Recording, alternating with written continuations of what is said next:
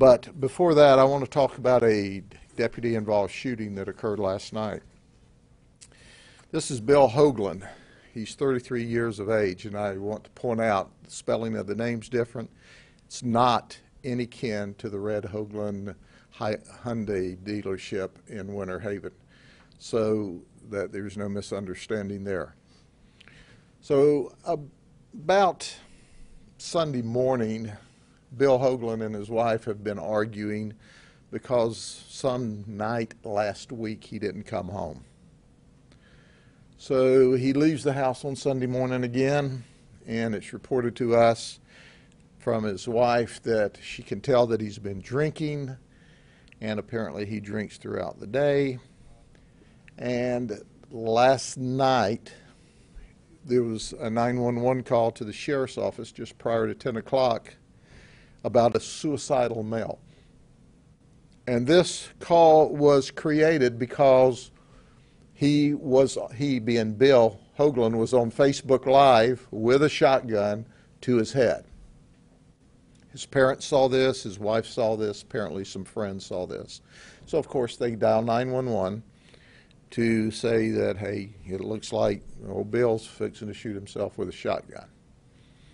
We began immediately searching for him, and during the same period of time, the Bartow Police Department also gets a phone call because that's where they live, and they're working with the victim on that end. Let me just get right down to the bottom line. The bottom line is through investigative and technology techniques, we found him.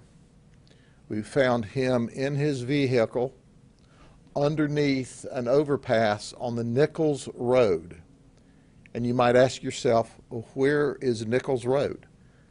Well, the answer would be you can live here your whole life and wouldn't know where Nichols Road is. It's, it is west and south of Mulberry.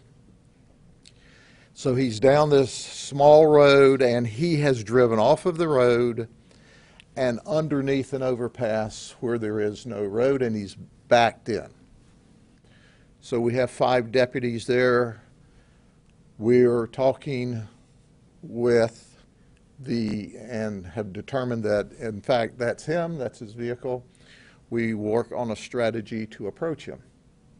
So with our lights and our firearms drawn. We approach him and we announce sheriff's office. Sheriff's office put down the shotgun, come out and talk to us. What we didn't know, I'll pause here, what we didn't know at that time is he's on the phone with his wife and he says to her, they're here. So he knows we're here. And we announce we're here. And they said at that particular time, the deputies, when they told him put his hands up and come out, he raises both hands in the air. And then he goes down, picks up a shotgun, and shoots at us through the passenger side of the vehicle, through the windshield, with a 20 gauge shotgun. One of my deputies struck in the arm with some of the pellets from the shotgun. Our deputies returned fire and he goes down in the seat. When the initial volley of shots are over, he screams out to our deputies, I'm done, I'm done, I'm done.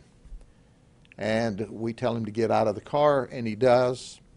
We have taken him to Lakeland Regional Hospital, where he's treated for one through and through bullet wound to his arm, and there's uh, fragments of bullets and or glass that are in his head and his, his back from where he went down in, in the seat. It was a great night for us, even though that our one deputy has pellets, shotgun pellets in his arm. He was treated and released. We thank God that our deputy wasn't injured. And we also are thankful that we were able to take Bill Hoagland into custody and deliver him to the hospital where he is being treated for his medical issues at this time. Subsequent to that, our investigation is ongoing. We anticipate that we will file charges of five counts of attempted first-degree murder where he shot at our five deputies last night. So at the end of the day, his family said he suffered from some depression issues, but let me explain to you. We found a, a bottle of whiskey, fireball whiskey, in his vehicle. You drink whiskey all day long, it doesn't make things better. So you can call it depression, you can call it whatever, but when you get drunk enough to hold a gun to your head and then shoot at deputies, that's not good. And that's on him. And the reason we shot him was because he chose to have us shoot him when he shot at us first. So the clear and message is, we'll help you if you'll let us. But if you put our life in danger, you shoot at us, we're going to shoot back until we've stopped the threat. This time the threat was stopped and he's alive and will live to rethink his conduct, hopefully in state prison for a very, very long time. He's dangerous. He's dangerous to himself. He's certainly dangerous to others because if you'll shoot at a law enforcement officer, you'll shoot at anyone.